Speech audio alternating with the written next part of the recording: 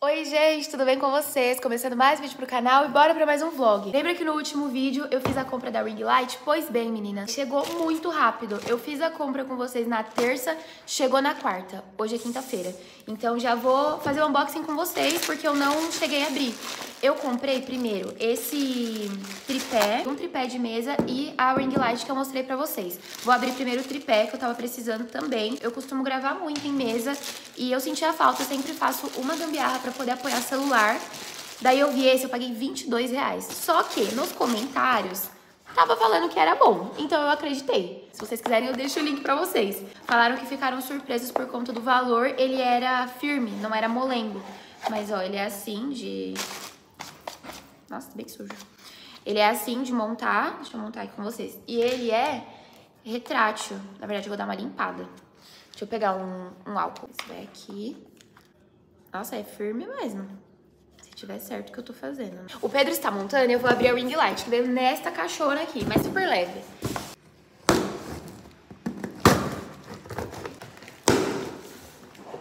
Veio uma caixinha dentro da caixona e também veio o tripé. Olha, vem até na case. Eu não comprei daquele link que eu mostrei pra vocês no vídeo. Eu acabei achando um outro que era um pouquinho mais caro, mas eu sabia que vinha essa case. Eu deixo esse link também se vocês quiserem, tá? Esse daqui é o tripé. Vamos ver se ele é firme, porque a minha, né, já não tinha nem muito parâmetro. Eu falo pra vocês que eu posso deixar o link porque eu sei que tem gente que trabalha com nail designer, é, extensão de cílios, que gostam de ter essas luzes pra fazer maquiadora também. Ó, veio bonitinho, veio na caixa. Aí vem o manual. A fonte. Ah, isso daqui eu não sei o que é. E os dois bastões. E mais um cabo. E o tripé. E mais um, um tripézinho, eu acho. Peraí. O Pedro conseguiu montar a de mesa. Olha, ela é bem pequenininha e chega, acho que no máximo 45 centímetros, algo assim. E essa bolinha aqui é pra ser, tipo, maleável, sabe? Pra eu poder fazer assim, pra baixo com ela. É uma película. Rasga toda. É, que ela vem por dentro do plástico. Como assim? Testando até onde ele sobe, fica bem alto. Mas o bom é isso aqui, ó, que já vem com o tripé também, né? Porque eu não vou precisar ficar fazendo aquilo que vocês viram no último vídeo.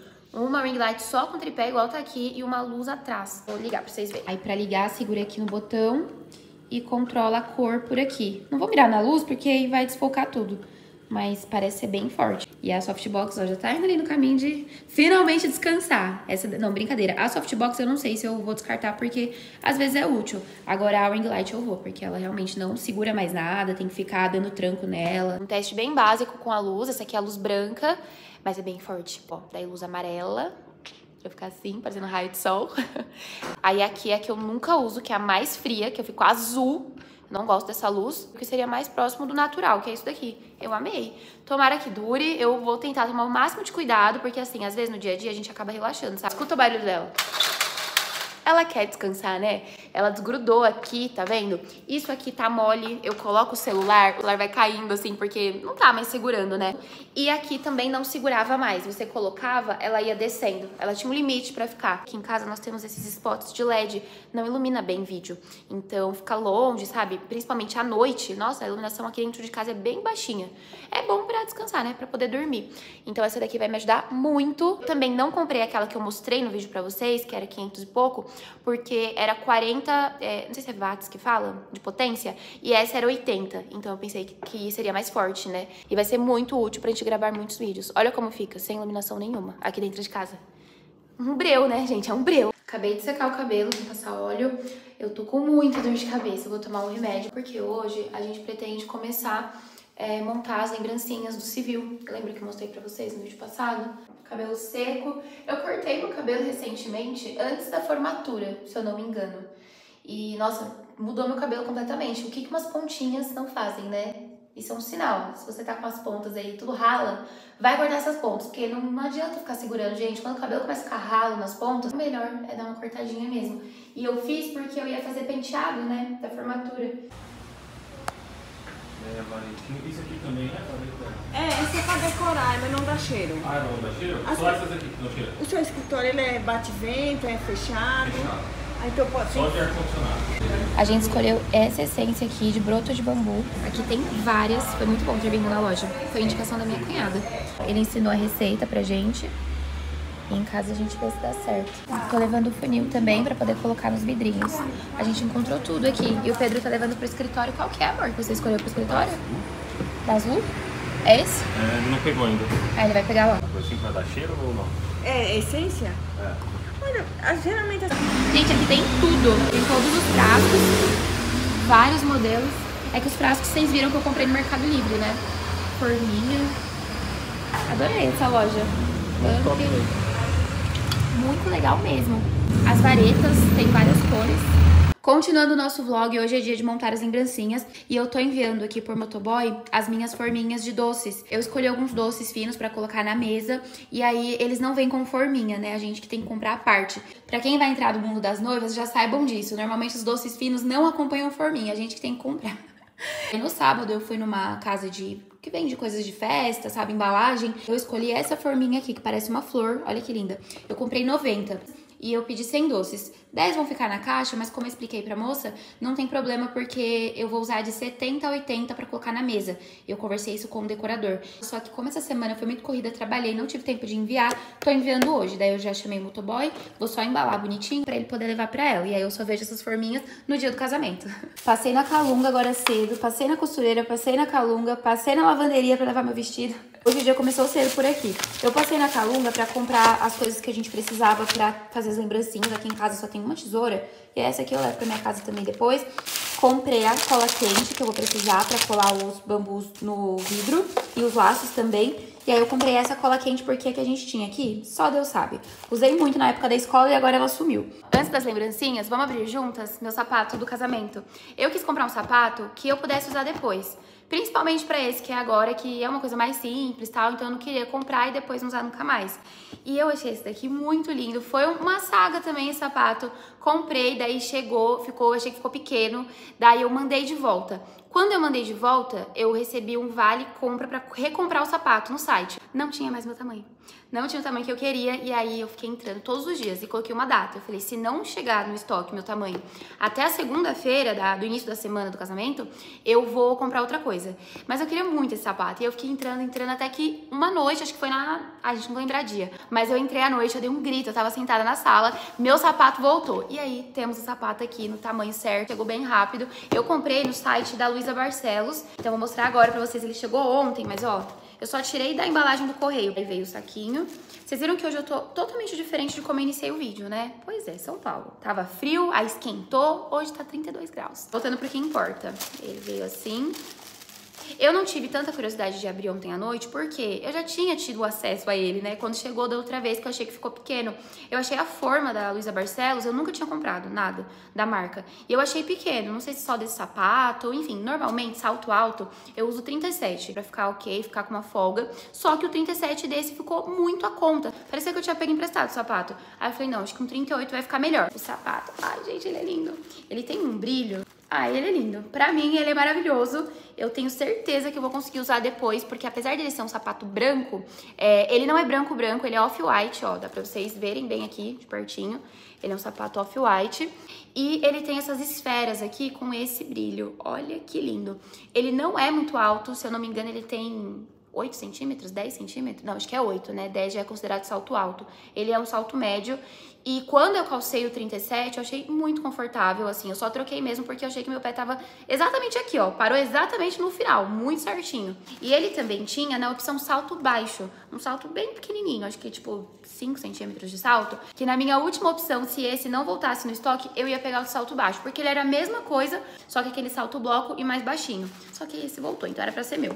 Ele veio até com esse negocinho aqui, que é pra mostrar como é que fica no pé. Que ele fica assim, ó.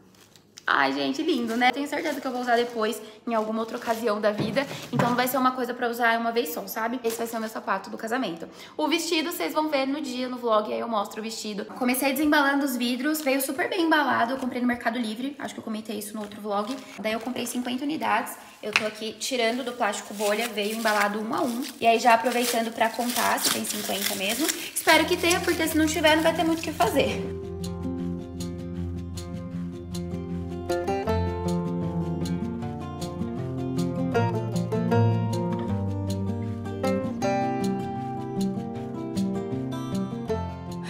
Só porque eu falei, um veio quebrado. Ele bateu aqui, ó, bem a base. Ele tá vendo aqui? Começou a cair uns cacos de vidro. Tomara que tenha sido só esse. Daí aqui eu tenho as fitas já cortadas no tamanho. Lembra que eu falei pra vocês que eu ia começar fazendo os laços? Na verdade, eu só fui cortando o tamanho. Eu até tive que comprar mais porque não ia dar a quantidade, ó, tá ali. Eu não encontrei aqui por perto, então tive que esperar chegar, então tem mais pra cortar junto com vocês. O restante dos bambus, aqui vai dar três bambus pra cada frasco. E as tampinhas, que tem que ter 50. E esse fio de... como é que chama? Acho que é fio de juta. É, fio de juta natural pra colocar os bambus junto com as flores, ó. Esse daqui. Eu, a minha mãe que encontrou, na verdade. Eu ia comprar online, mas ela falou, ah, isso é fácil de encontrar, eu compro pra você.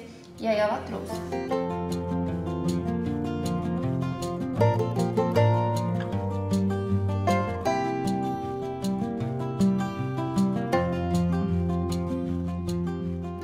Vou mostrar pra vocês agora o tamanho que eu cortei a fita pra fazer o laço. Eu tentei cortar mais ou menos parecido no tamanho. Vai perder bastante da fita, mas eu prefiro cortar pra mais do que pra menos. Então aqui eu consegui fazer 38 fitas com dois rolos desse de 10 metros. A cor desse verde é a cor 249. Ó, eu comprei dessa marca aqui, eu achei no Mercado Livre também. Depois eu fui tentar achar por aqui, onde eu moro, pra não ter que comprar online de novo e não encontrei. Preciso de 38 mais 12, 50. Eu preciso de mais 12. Eu fiz um laço para ver mais ou menos o tamanho que eu precisava. Tá por aí, tá bem amassada. E aí eu fui cortando de acordo a primeira. Então, ó, minha tesoura nova, como tá boa. Aqui, achei ela. É essa que tá amassada. Eu fiz o laço nela e fui a partir dela. Então, eu vou continuar usando ela, porque ela foi o tamanho mais fidedigno que eu achei.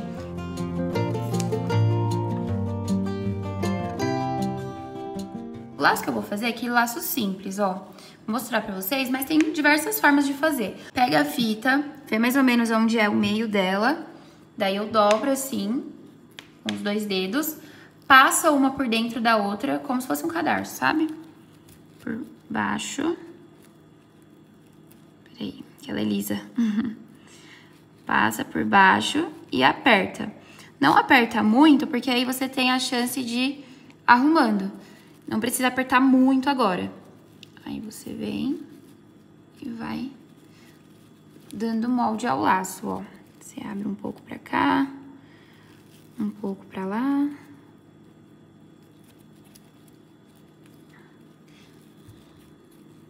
À medida que o laço for ficando do jeito que você quer, aí você vai apertando o meio. Eu confesso que eu não sou boa nessas coisas manuais, viu? Mas uma coisinha ou outra eu faço. Tem gente que tem um super dom, né, pra fazer. Eu não tenho, não, já falo logo pra vocês. Pode ser que um fique bonito, outro fique mais ou menos. Mas o que importa é que é com carinho que eu tô fazendo. Aí é só vir e cortar as pontas na diagonal. Aí eu corto uma pra cá.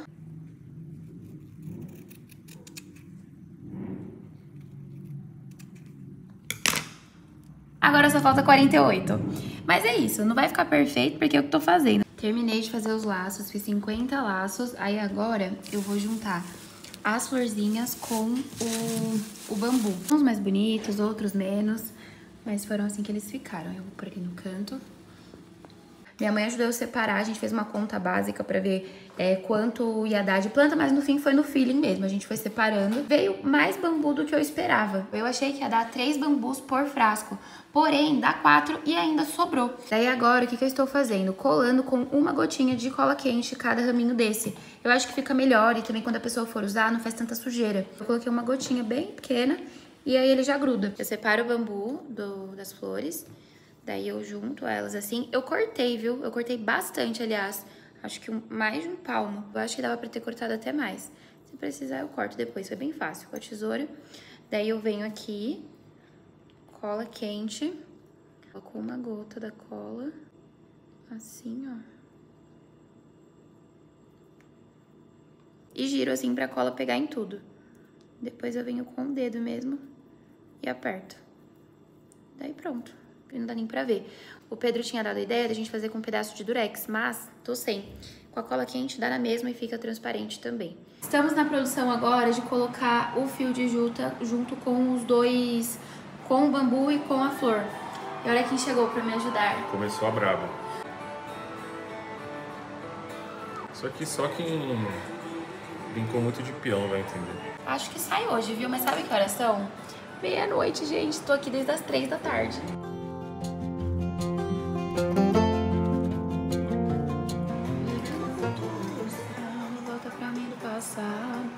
Então o Pedro coloca, eu corto as pontas pra não ficar muito grande.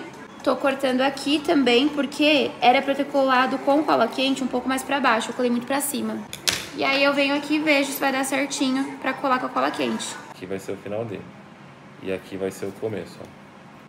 Vou gravar o Pedro fazendo o, o fio, porque não pegou a mão dele na hora que a gente tava conversando. Ele tava me mostrando como que ele tava fazendo. Ó, amor, faz devagar. Não, do zero. E você define. Não liga pra minha unha suja, hein? Eu tava pintando um escritório. Aqui você vai definir o começo e aqui o final. Então você começa aqui, ó. Quando você for virando a cordinha, a cordinha que vai pro final, ela fica embaixo e não em cima, tá vendo? Aí você vai amassando ela bem forte. E aí você só apoia aqui para amarrar. Nossa, misericórdia. E aí ela fica toda com a, a voltinha, tá vendo? Não tem coisa assim. Uhum. Perfeito. Aí eu dou a finalização. Daí aqui eu já comecei a colar atrás dos vidrinhos. E eu tô usando álcool pra deixar bem limpinho pra cola pegar bem. E tá dando certo por enquanto.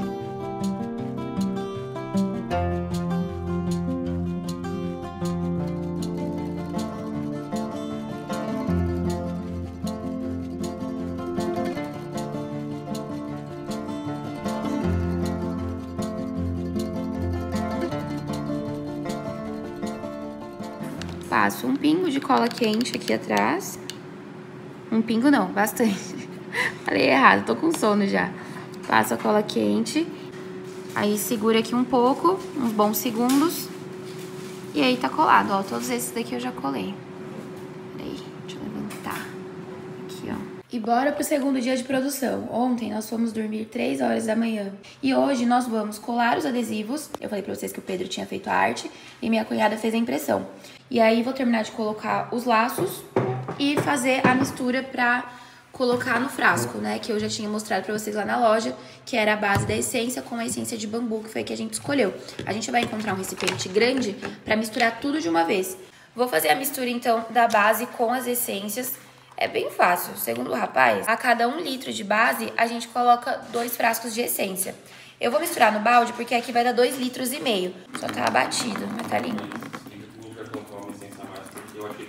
É verdade, a gente vai colocar uma essência a mais, porque o Pedro achou que talvez fosse ficar fraco. Aí é da escolha, mas a receita mesmo é essa que eu falei no começo. A gente vai colocar um litro.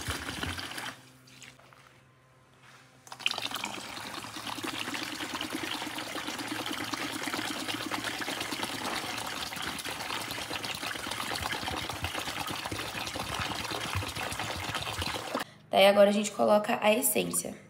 Então a gente comprou cinco para ficar um pouco mais forte. Eu queria escolher uma essência que não incomodasse, assim, porque tem gente que não gosta de cheiro muito forte. Aí tentasse agradar pelo menos a maioria. Eu sei que é difícil agradar todo mundo, mas.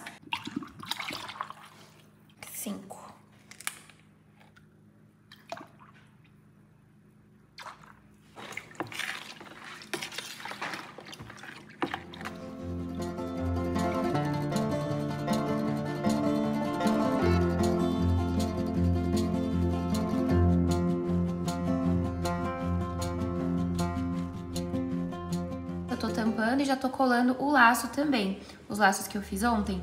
Coloco uma gota.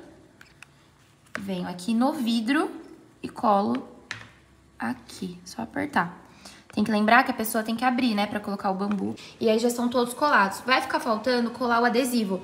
Como eu irei fazer as unhas, provavelmente o Pedro vai terminar essa parte quando a gente voltar. Eu vou sair agora pra fazer sobrancelha. A florzinha, eu ia comprar um verde esmeralda, um verde mais escuro, porém eu não encontrei. Eu comprei tudo online, se vocês quiserem eu deixo o link de tudo pra vocês, é, porque realmente eu não tinha muito tempo pra ficar saindo pra procurar as coisas, sabe? Mas tudo isso daqui vocês também encontram. Aquela loja que a gente foi de essência, tinha tudo, desde os frasquinhos, tampa, o bambu, tinha tudo, tudo mesmo. Se eu soubesse, né,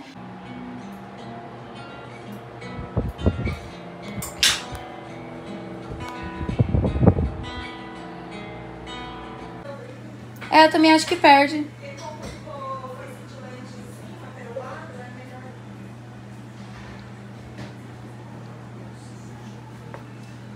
Viemos tomar um cafezinho pra esperar o trânsito passar, depois de ter feito as unhas. Ou não? Nosso último café noivos. O próximo é. Não, solteiro no Solteiro no papel. papel. Nosso último café da tarde. Calma o próximo vai aí. ser café da manhã de domingo na padaria. Casado. Esse próximo é o melhor do mundo. Eu peço com ovo frito e abacate. Eu Pedro pediu dois, porque um não preenche. E chocolate quente, o meu é um suquinho de laranja. Viemos no shopping, eu vim procurar um brinco pra minha mãe, porque eu comprei um à tarde, só que eu não gostei muito. Aí ela falou: Ah, não sei se eu gosto, eu vim procurar outro. E aqui na Renner tem uns muito bonitos. Inclusive aquele de pétala que eu já usei, que vocês me perguntam: Amor, tira esse aqui da frente, por favor. Sempre que eu uso, vocês perguntam de onde é. É daqui da Renner. Não foi caro. Aliás, a maioria é em torno de 40, 60 reais, não mais que isso. Olha esse, que lindo. Eu tava em dúvida pra minha mãe entre esse, esse aqui, que eu achei lindo, esse aqui também. Mas no fim eu vou levar esse aqui, ó, de trás. Esse aqui eu tô levando pra mim. Eu acho que eu vou levar esse aqui de trás pra ela e uma corrente. Quase 10 horas da noite, estamos no mercado. Viemos fazer as compras das bebidas que a gente optou por nós comprarmos. A gente tinha orçado as empresas que tinham bebida, mas a gente preferiu comprar. Aí nós compramos refrigerante normal e zero. Os vinhos, eu comprei essas garrafas aqui, que é a minha favorita. Óbvio que não pode faltar no casamento. Água também. Essa água menor aqui é pro escritório. Isso daqui é pro café da manhã de amanhã, que a minha sogra e minha cara vão se marcar com a minha mãe lá em casa. E aí a gente vai pegar uns sucos também. Uva e laranja, né, amor? Temos um carro com muita coisa e o meu vestido que eu fui buscar na lavanderia. Eu coloquei pra passar, busquei antes de ir pra unha. Amanhã vocês vão ver. No caso eu vou iniciar outro vlog, né? Mas o vestido tá aqui também. Bom, vou aproveitar pra finalizar esse vídeo por aqui. O vídeo de amanhã vai ser o vídeo do casamento, então eu vou iniciar outro. Eu coloco também um take das lembrancinhas com adesivo colado.